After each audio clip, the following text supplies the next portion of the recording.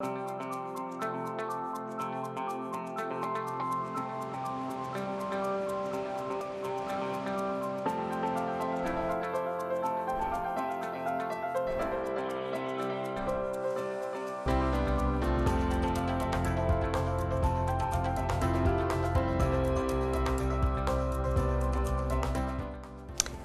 Good afternoon and thanks for joining us. I'm Judy Simpson. Today we're going to party like it's 1814. Ten score and four years ago, a battle by land and by sea engulfed our region. The Battle of Plattsburgh could be heard from the Canadian border to as far south as Mount Philo. It involved militias from New York and Vermont and featured one of the biggest British ships ever to sail Lake Champlain and starred a dashing American naval officer who proved to be as lucky as he was skillful and, let's not forget, the more on that in a moment. Joining me is Don Wickman, director of the Kent DeLord House Museum in Plattsburgh. Welcome to you. Yes, welcome, Judy. It's always a pleasure to be here. Yeah, now, Don, for those who are not history buffs, talk about the significance of this battle. Okay, we set the stage a little bit. Mm-hmm. Um, 1812, the war breaks out, and 1812 and 1813 are not going well for the Americans. Uh, they're well, defeats are outnumbering victories. Mm-hmm. But in 1814, the British decide to um, attack on the Niagara frontier, and they're going to make a an invasion toward Plattsburgh because they want to control Lake Champlain. At this time, the American armed forces are in better condition. And when they decide at the Battle of Plattsburgh, the land battle turns against them, but what's more significant is that they lose the battle on the waters. And because of that, they can't control the lake, they can't control the valley, and their army, which far outnumbers the Americans, has no choice but to go back and retreat. And this is so significant, it actually triggers the British to come to the peace, trade, uh, peace table. Mm-hmm. What about the rooster? Okay, the rooster. um, on board Commodore Thomas MacDonough's ship is a rooster. It's caged and that's the Saratoga. Well, during the part of the battle, um, a British cannonball breaks open the cage and the rooster flies up in the ratlines of the Saratoga, flaps its wings, and crows like the devil.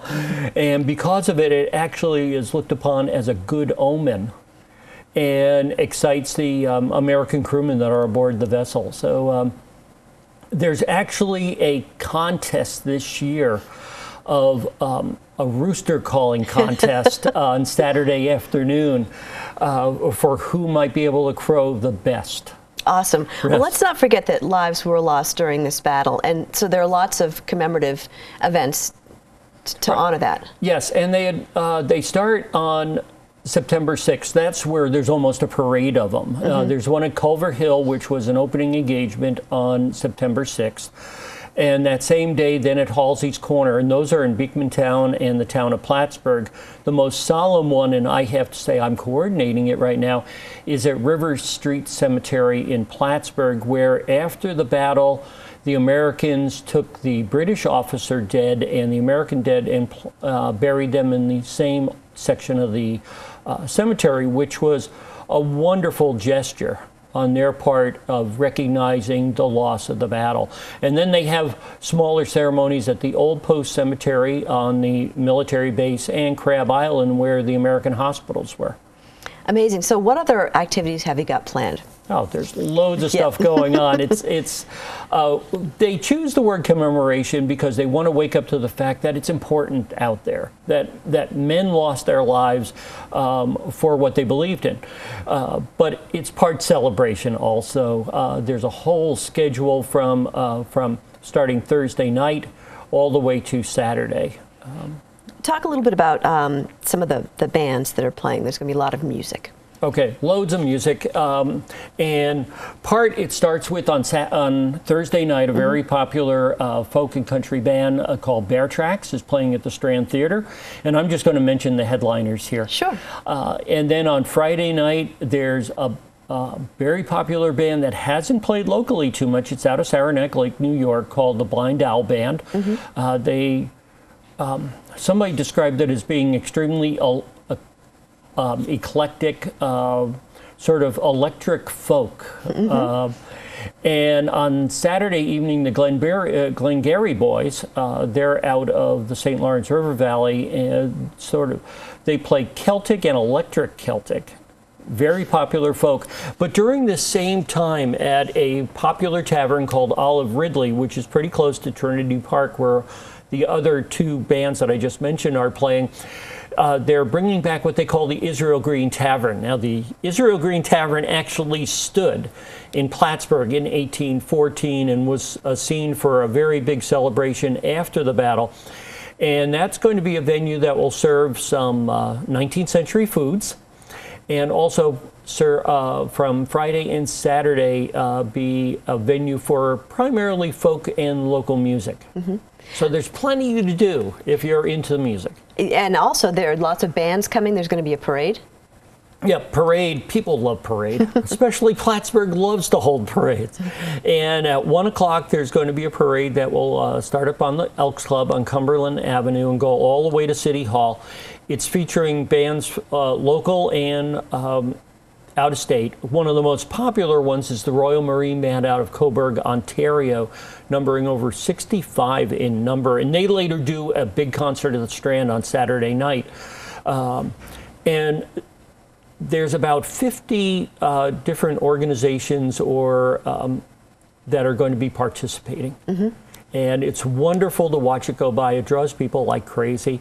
And then they all, um, the reviewing stand is at City Hall, and then they gather together and do what they call a um, beat retreat. What's that? Okay, they get all the bands together on City Hall Place, and they start off by um, with one pipe playing, and then go into uh, playing Amazing Grace. And you you might be dealing with over 150 musicians that are doing that, and it's a great attraction, attraction, and very poignant. I've only seen one because of my involvement with the Kent DeLord House. Let's talk a little bit about the Kent DeLord House because there are things that are going to be happening there as well. Yes, we've sort of uh, we've always had since 1997 a grand encampment, and this year we decided to rebrand it, reprogram it, and call it a military muster. So we're still going to have the reenactors, probably a hundred reenactors. There's going to be bateaus, uh, which are large watercraft. That there is a bateau race on the Saranac. Uh, well, on Plattsburgh Bay, mm-hmm. and it always is a challenge because there's a sandbar at the mouth of the Saranac River, which can disrupt things a little bit. Uh, but we are featuring more family activities. Um, as you can see by the image, there's calligraphy, candle making, uh, there's uh, cartridge making, there's going to be a demonstration, and a hands on that you can do laundry. Uh, colonial style or mm-hmm. 19th century style. So that's going to be something that we're really going to be trying to draw people in. There's going to be demonstrations of gunsmithing, uh, wood carving, um, basket weaving, and one of the best parts is it's a camp. And the reenactors, they really love to talk. If you ask them, if you get over the shyness, they love to tell you what they're doing, how long they've been in. Uh, some of them have been at it for 25, 30 years, and they just love to share that knowledge. We're going to have two interpretive tables. They're laden with American and British uh, reenactment material, so people can actually ask, What's this? What's this? and get good authoritative answers. Well, it's very interesting because camp life was a big part of the military life. And what's really is we always have the military aspect, but most of the time was camp uh, spent in camp, mm-hmm. and to them it was probably very boring. Uh, but for the vid- visitors, they're they're always intrigued that these um, families, and it's men, women, and kids, always want to go back to um, 1814 and reenact what was going on. Yes. And we should mention too that these there are hundreds of people that come for these reenactments as far as to participate, and it's really important to them to get everything as authentic as possible, even right down to buttons on their clothing. Correct. Correct. And um, having been a reenactor during the 1970s and 80s, I'm aware of that. Is that there's so much specific um, data out there now, so you can have the proper uniform.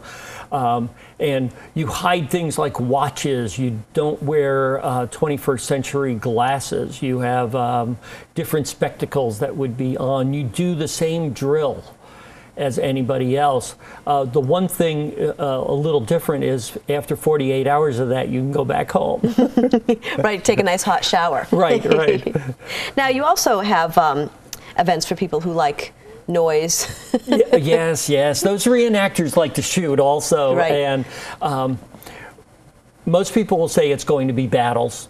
Uh, and really, the term that has been adopted over the years is tactical weapon demonstrations. Mm-hmm. And there's going to be three on land two on Saturday. One's going to be on the old base at 10 a.m. on Saturday. And then they're doing one at 8 p.m. where it's getting dark now, and so you'll actually be able to see flames coming out of the barrel. That's going to be down at the McDonough Monument, and it's um, actually historical where a party of Americans raided a British battery and captured it across the Saranac River. Sunday, they're going to be doing a street battle right in front of the museum on Cumberland Avenue. And right prior to that, they're going to have a um, small scale simulation of the American, uh, of the Battle of Plattsburgh Bay. There's no big vessels there, but the bateaus will be able to simulate what was going on, and there's going to be narration. And that's a pretty popular event. It's very popular. And of course, you're sitting at the Champlain Monument, so you have the perfect outdoor venue. You're up on a bluff and you're being able to see everything down on the water. Mm-hmm. And so, how many people usually attend?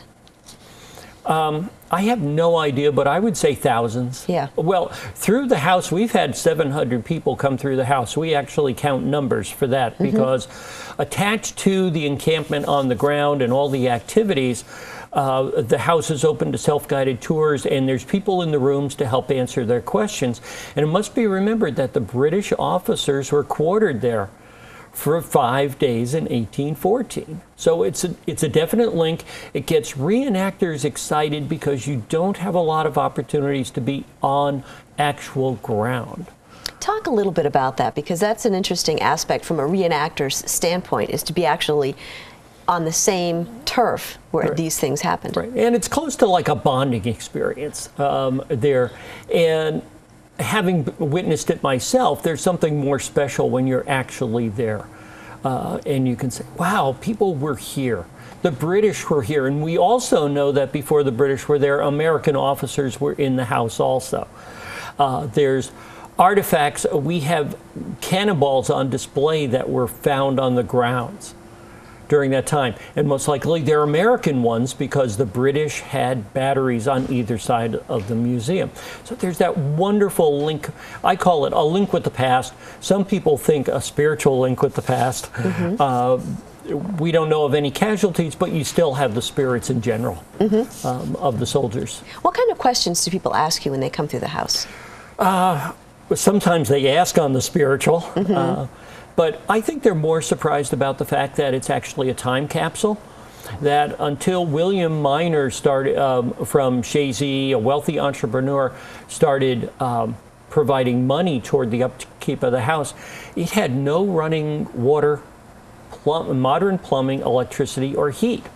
And that was in 1913. Mm-hmm and that was later converted. And also, probably close to 90% of the furniture and artifacts on display are actually related to the Delord uh, three uh, generations. So, very authentic. Very. Mm-hmm. It's, a, it's a mix of 18th through 19th century materials. So, where can people get uh, information and a schedule on what's happening? Okay. Best thing is hop on the internet mm-hmm. um, and go to the two, um, we're probably going to post the two here. Mm-hmm. Uh, the two Facebook, uh, the two websites. One is the City of Plattsburgh. Uh, the other one is the Kent DeLord House, and uh, both of those will be posted. The one for the Kent DeLord House is going to be Kent DeLord House specific. Uh, the one for the city is going to give you the full range of events from Thursday through Sunday. We're sneaking in more of the things. We're going to have artillery demonstrations going on, some simulated duels, other things. Uh, one uh, two items I'd like to mention that sure. are really special for Sunday is at 10 a.m. there's going to be a 19th century church service. Um, at the gazebo at Champlain Monument with, and I've been laying out part of that with 19, well, with period hymns, mm-hmm. and also the Plattsburgh Shape Note singers are going to be doing one uh, hymn, and later on do a demonstration of shape note singing, which is music without music. or without any instruments. Mm-hmm. And people are welcome to bring their voices along at the same time. Well, Don, I want to thank you for joining us today and talking about this big weekend coming up. It's always a pleasure, Judy. Many, many thanks. Sure. That's our program for today. Thanks for joining us. I'm Judy Simpson. I'll see you again next time on Across the Fence.